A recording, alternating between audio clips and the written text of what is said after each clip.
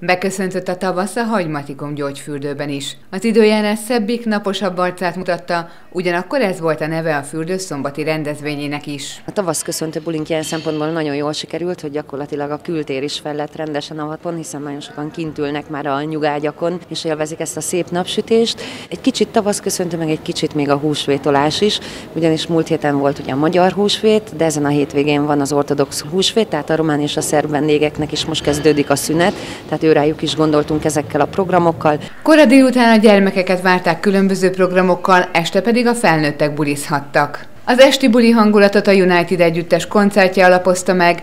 Az ez ugye 15 éves most idén a zenekar, és igyekszünk a 15 évből, hát nyilván a nagy slágereket mindenképpen el fogjuk játszani, tehát a Hófej Ragulár, Keserű Méz, Égsomas, stb. Mi is készülünk majd egy, egy új dallal, majd a nyáron, de egyébként inkább a december 1 nagy műpás koncertünkre készülünk, ami, az, ami viszont elég nagy szabású lesz, mert lesz benne nagy vokál szekció, meg fúvós szekció, és így igazából sokat kell vele foglalkozni, hogy az addigra összejöjjön.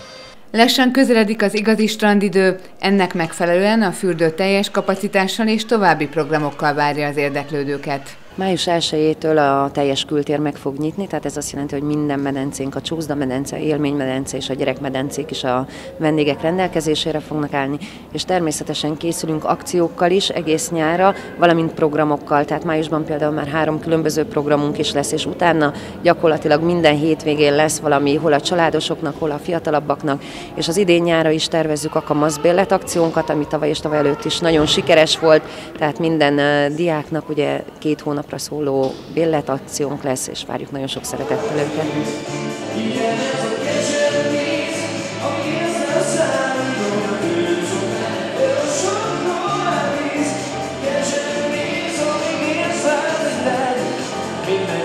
Vagy jó az